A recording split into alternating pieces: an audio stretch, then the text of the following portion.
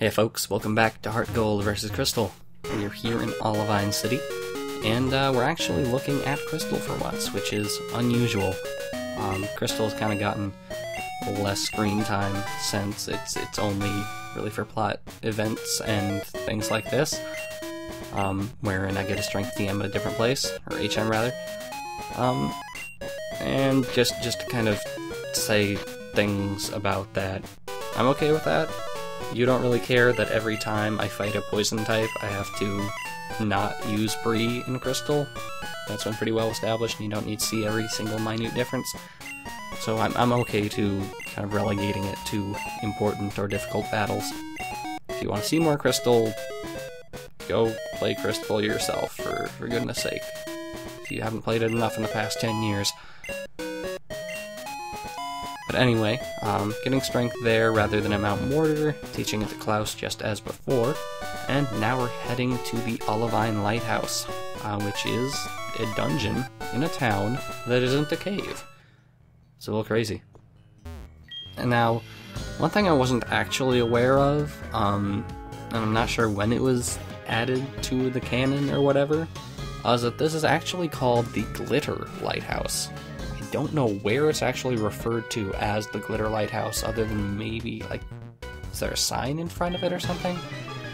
But the label says Lighthouse, everyone just refers to it as the Lighthouse, so I call it the Olivine Lighthouse. I don't know. Um, but anyway, it's. I, I call it a dungeon, but it's not really a dungeon. I think to be a dungeon, it needs to have either wild Pokemon or some form of non-linearity has neither. So, yeah. It's, it's a linear progression of, of trainers, but it's a good place to train. So, I'll roll with it. The one trainer I always remember from this dungeon is this first guy with a Noctowl, because you don't see too many Noctowl in the game. And Noctowl are pretty rad. I don't know, I, I just always remember him. It may be entirely because he's the first trainer in the dungeon, but mm, that's, that's, that's, that's my story and I'm sticking to it. And I'm all about the personal pointless an anecdotes right here. Anyway, getting his phone number because I, I think that Noctowl is going places. Anyway, um, this is another one of those wonderful trainer-filled episodes because people really like seeing trainer fights. That's that's about it. Um, anyway, let's let's look at this guy. It's Poliwag. Um, Poliwag. I like Poliwag. I don't know. The interesting thing is really more is is Poliwhirl, which is coming up next. Um, I talked a little bit about Poliwhirl in the previous episode uh, when when Webster was fighting one, and kind of how Webster is a lot better at fighting them than a lot of my other Pokemon. Um, because Webster is Insomnia, and the Poliwhirls of the of the world love to use hypnosis, as you can see there. Um, Insomnia prevents hypnosis from working. Seems to work out pretty well. Frida, unfortunately, her best move requires a charge up turn, so Poliwhirl is basically guaranteed to get the hypnosis in, and Frida won't be able to do any damage with Solar Beam. So despite having the type advantage, not so great. Uh, eventually, I think I'll, I'll wisen up and and use Bullet Seed rather than than Solar Beam. But man, Solar Beam's so satisfying. Anyway, a little bit of trivia about Poliwhirl now that we've seen Poliwag and Poliwhirl right up against each other. Um, the the spiral on on their stomachs changes direction when Poliwag evolves into Poliwhirl.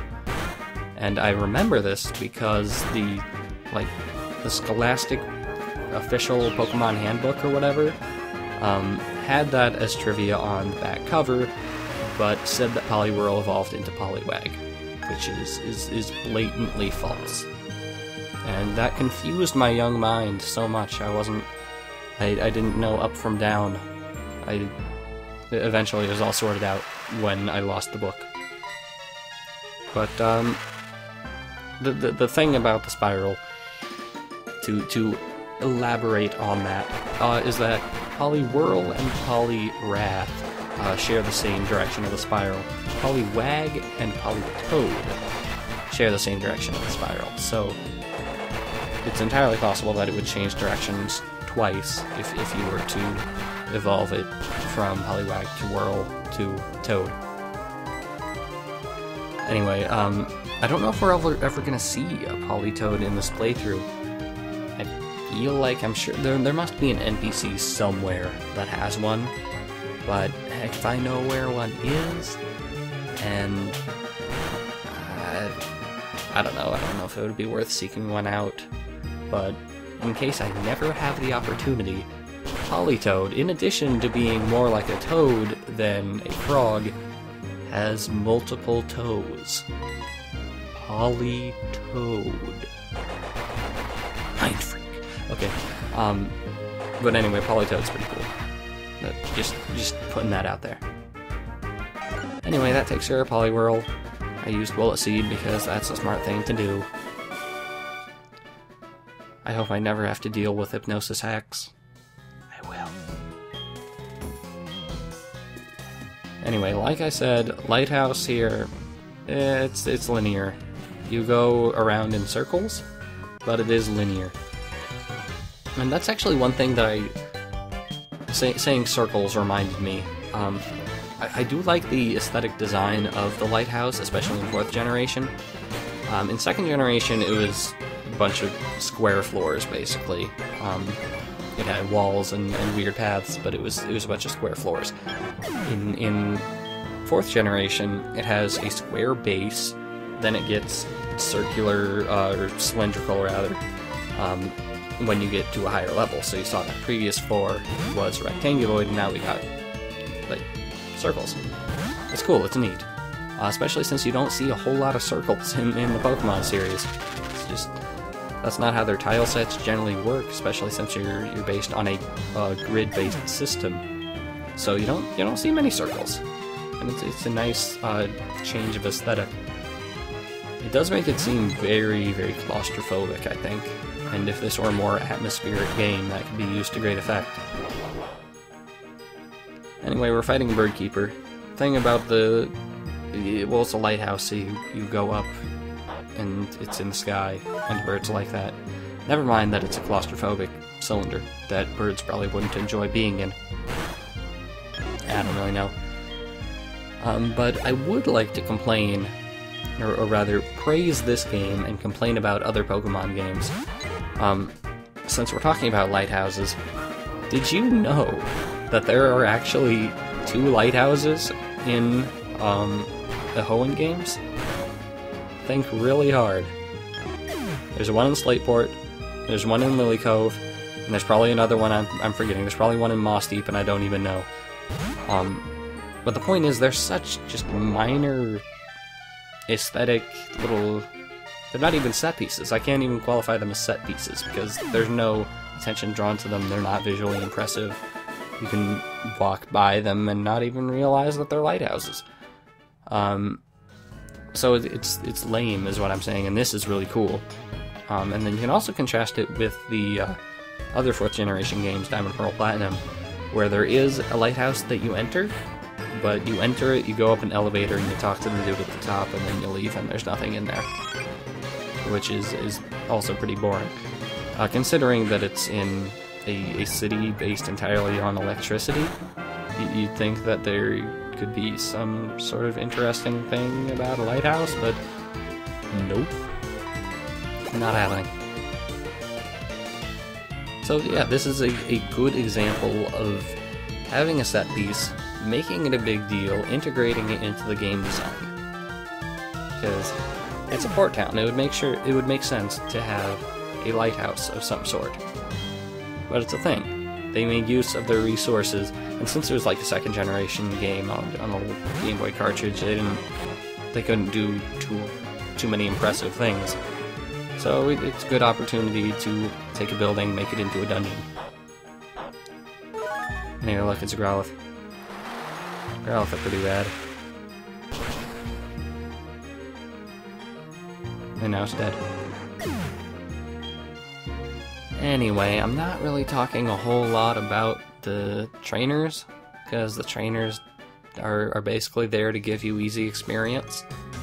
Um, since we are coming up on the well, we're already in the second half of Johto where things are supposed to get difficult. So hey, I have some experience to make it less difficult. Um, but they're also there to make the dungeon feel less empty, because there are no wild Pokemon and there are no puzzles. There was actually one almost puzzle in the original where you had to drop down a hole and then climb up a ladder in order to progress, but that wasn't really a lot. I wish there were more puzzle dungeons in this game.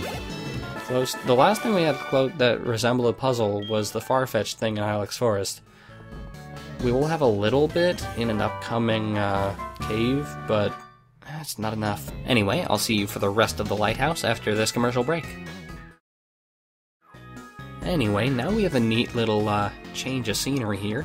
Um, unlike in the original games, where it's just all tower all the time, uh, we now have a little uh, breath of fresh air, and in fact, this is something that they don't do anywhere else in the fourth generation. Um, just it, it's a slight change of camera. You see out into the distance. It's really neat. Um, it's a fact that they use a lot more frequently in the fifth generation games, but this, as far as I recall, is the only time where you see something like it uh, in a fourth generation game, and it's a very nice change of pace. However, Reef it is, um, well done, and it's neat, and it, and it sticks in my mind. It's clear that they were just showing off, but that's okay. Of course, unfortunately, as soon as we're, you know, enjoying it, time to go back in. Nothing to do out there besides grab the one item. And uh, we're confined to the inside for the rest of the episode, unfortunately. Now we're, we're fighting some Krabby. It's not even worth having a mirror match, because what can these Krabby do? Look at this, I give them a free turn, and what do you think they do? Guess what they do? They use Harden. Foolish creature. They're they're in the uh, the bottom percentage of all Krabby. I know so many Krabby better than them. I can name two off the top of my head. But yeah, they're they're, weak. Like I said, they're there for experience. That's about it. Anyway, you can see over there there's actually one neat little thing. You got a map of the region. Not a particularly beautiful map, but it's neat all the same, and I don't know, it would have made a little bit more sense outside where you can actually see the rest of the region, but it, it's still something that you might have in a tourist attraction like a lighthouse. Even though this is an active lighthouse rather than a tourist attraction, but you know, whatever. Um, anyway, more be more more bird keepers. This one has Spearow rather than Pidgey. Truly a force to be reckoned with. I don't know. I, I, I used a Fearow in my my first playthrough of Heart Gold. It worked out. But look at this. I'm I'm using a ground type against a flying type and and trumping it. What has the world come to? Actually, I'll, I'll give this guy a pass because he does actually have an evolved form. He has a Fearow. Like, I, I can't fault him too much, I guess. I, I would have preferred all Fearow, but what are you gonna do? You're gonna ROM hack the game and fix everything. That's what you're gonna do. I know, I know you've done it. You, you right there. I know who you are. You've done this and you'll never you'll never live it down. But yeah, Fearow goes down like any other normal normal uh, flying type by not using ground type moves like an idiot.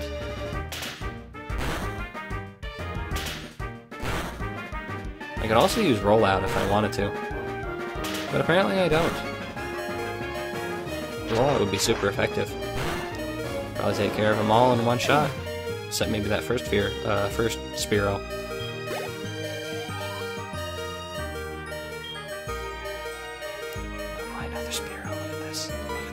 This is what you people want. This is what the people want. This is what the people have decided. This is a video by democracy. They want more fights. They want more action, no matter how repetitive. Anyway, let's all remember why we all remember Spearow. I would bet that 95% of you remember Spearow because you watched the first episode of the anime, uh, in which Spearow did horrible, unspeakable things to our favorite protagonists. Um, I, I know that's the only reason it sticks in my mind, other than it looks slightly more badass than a Pidgey. Anyway, we are nearing the end of the lighthouse. We only have two more trainers to go. Uh, and this is the point where I've officially run out of things to say about completely generic and forgettable trainers, so let's just skip them. And let's have probably the highlight of the lighthouse photo time. It's not the most glamorous setting, but our previous photo was in like an underground tunnel, so this is fine. We'll get we'll get a good picture eventually. Um, but yeah, one, two sailors, that's all we need to worry about, and uh, they're nothing to worry about. So let's just grab the super repel and head on up the ladder, up to the final floor. Now, this is a neat thing. I really like the idea of having Pokemon actually involved with the with the infrastructure uh, of the city and of the world.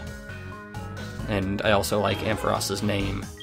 I don't know if it's Ampharos or Ampharos because I can't meet anyone who ag- agrees on the pronunciation of the original lighthouse in Alexandria on which it's based. Um, but yeah, Amphy's sick. We need to get medicine from Cianwood. Let's get going.